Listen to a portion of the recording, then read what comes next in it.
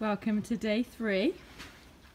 Now children, what is your most favourite job on the farm? Mucking out. Mucking out what? The pigs. Oh yes, now. The problem with where we keep our pigs is that it is not big enough for machinery, so we have to go back to basics with a shovel and a wheelbarrow. So that's the first wheelbarrow done. Um, if you, Charlie, want to take that and tip that and come back with some straw. Can you get the shovel off? Yeah, I'll take the shovel off in a minute. You come back with some straw. Harry, you can go and help him load up with straw. Yeah. Thank you. So this is one of our mum pigs. You see she's got some little piglets.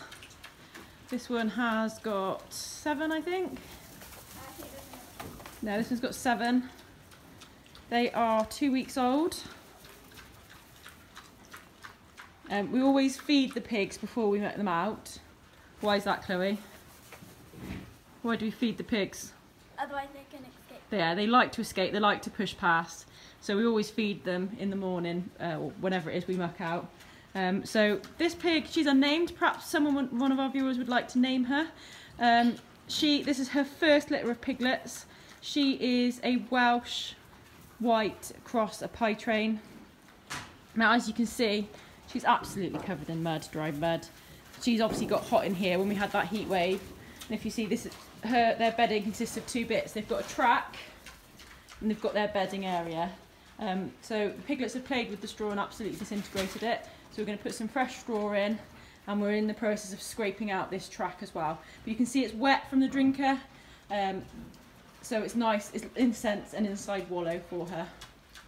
Um, so that is her and her piglets. We've got some more piglets and we'll have, as we move along, we've got some more um, different stages of pigs for you to look at as well. So there we go. A little spotty throwback in the piglets. Our pig is our pig is being a great model while she's eating that. I think it's a good opportunity to show her udder.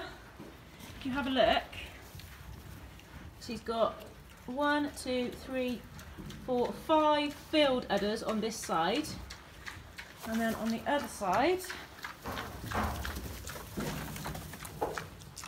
she's got three. Can you see that there's three that are bulging? That means she's got eight in use or certainly seven of those are in use, and that is because each of the piglets will have their own teat. When they're born, they will assign themselves a teat, and um, when they do that, that will be their teat that they stick with. The strongest piglet will have teats closer to the front because it's believed they have the most milk um, and the best flow of milk, so they will get the best and the strongest. And then, if you ever heard the term runt of the litter, that's always the smallest pig and they always get um, the leftover, the last teats. Sometimes pigs have that many um, piglets that there's not enough teats to go around and that's why the runts usually die. However, this sow has got a very even litter and that's because it's quite a small number. I mean, some of these pigs can have litters of up to 20, even more sometimes. Um, but her litter is quite small, which is good because it's her first litter. They're all growing nice and evenly they're all quite happy. If you go into here, they'll probably all run away and grunt a little bit. There we go. They're very inquisitive, but they're also very playful. There we go. Running around. They're running. What are you doing? Normally you just feed us. You don't get the camera out. So she's got ample milk for all of them. So they're all growing really nice and evenly and really, really well. So I haven't got too many worries about them. Um, we'll introduce some hard feed to them probably when they are three weeks old. So next week we might start introducing it. The problem is mum will eat it as well. So you can set up like a little creep feeding system where they um, can only access it themselves. But straw, pigs are really, really, really strong.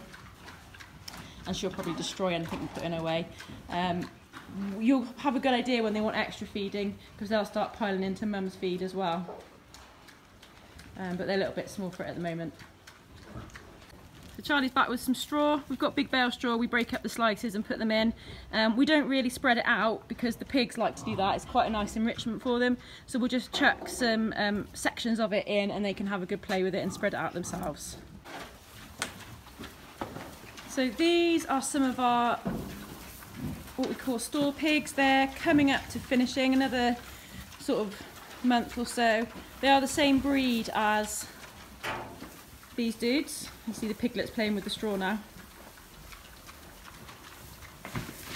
They're the same same breed, so they're they're Welsh cross Pietrain. Um, you can see that they're quite muscular, nice size. Get a few pork chops off of them. Um, this is their feeder. Literally, pour some feed in there. You get it from under there. Now, naturally, pigs are really clean animals, so they won't poo where they sleep. So their beds are naturally nice and um, clean and tidy. Unlike the other farm animals, where we have to keep putting straw in to make it fresh. Pigs are actually quite clean. They will poo in their poo area and keep their bed clean. That is, unless you are these.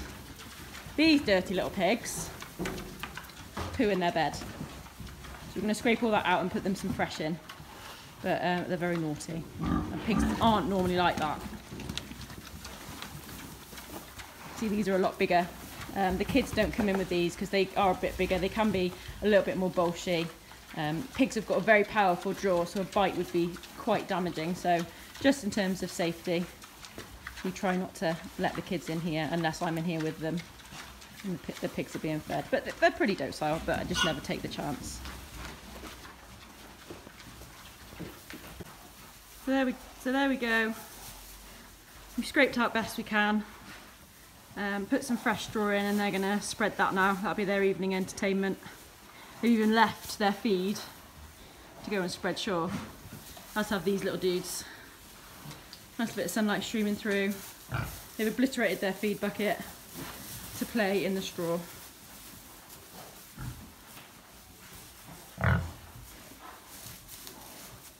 Mum just wants to eat her food. Um, we're all scraped out on this side. Try and scrape out every couple of days, if not every day, depending on number of pigs. Um, something that you might also find interesting that this is their drinker. So it's connected to the water pipe. Now this is called a bite drinker. That's what the pigs. Pigs are actually really, really clever animals, and they just come along, bite the top bit, and water comes out. A bit like a water fountain, but for pigs. There we go. Very simple, very clean. They've always got fresh water.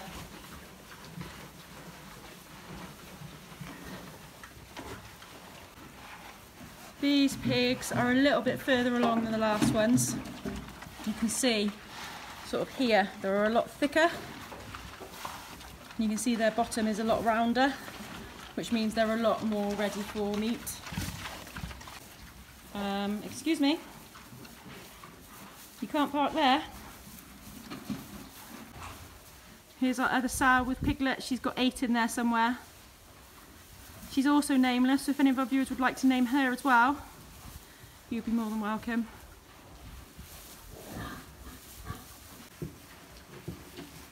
This pig unit is in addition to Shane and Cherry who are at the farm. Cherry comes down here to have her piglets and then the two sows that you've seen on rotation come back to where Shane is. Um, so that he's always got a lady friend, but they equally the, the lady friends also get a rest. And there we have it, day three. Longridge Farm, Farm Kids Summer. It would be really helpful if anyone watching would like this on YouTube and also subscribe to our channel. Um, and then you'll never miss out on any days. They may not always be able to share it on Facebook and Insta.